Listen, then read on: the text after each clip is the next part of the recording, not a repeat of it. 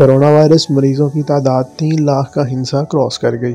नहायत मोहलिक साबित होने वाले नए वायरस के मरीजों की तादाद दुनिया भर में तीन लाख दस हज़ार हो गई।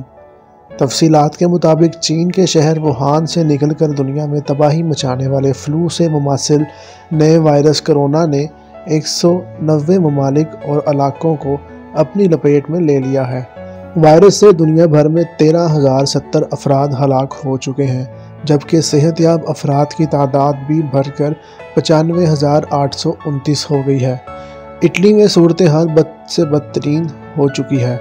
एक ही दिन में सात सौ तिरानवे अफराद वायरस की भेंट चढ़ गए, जिससे मरने वालों की तादाद चार हज़ार आठ सौ पच्चीस हो गई, जबकि तिरपन हज़ार पाँच सौ अस्सी अफराद वायरस से मजमू तौर पर मुतासर हो चुके हैं।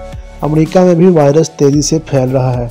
मुतासरीन की तादाद छब्बीस हज़ार आठ सौ बानवे हो गई है, जबकि वायरस से अमवात तीन सौ अड़तालीस तक पहुँच गई हैं। इधर अमरीकी मीडिया का कहना है कि सदर ट्रंप ने कोरोना वायरस पर इब्तदाई रिपोर्ट्स को संजीदा नहीं लिया था।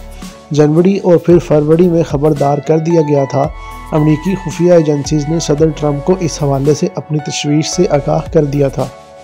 स्पेन में वायरस से तेरह सौ इक्यासी अफराद लुकमा अजल बन गए हैं। जबकि पच्चीस हज़ार चार सौ छियानवे अफराद मुतासर हो चुके हैं। फ्रांस में करोना वायरस पाँच सौ बासठ अफराद की जानें ले गया है। चौदह हज़ार पाँच सौ अफराद मुतासर हो चुके हैं। बरतानिया में दो सौ तैंतीस अफराद करोना के बाईस मौत के मुँह में चले गए। पाँच हज़ार अठारह अफराद मुतासर हैं। ईरान में कोरोना के बाईस अमवात की तादाद पंद्रह सौ छप्पन हो गई, जबकि बीस हज़ार छः सौ दस लोग मुतासर हो चुके हैं। चीन में अमवात और नए केसेस में नुमाया कमी आ चुकी है।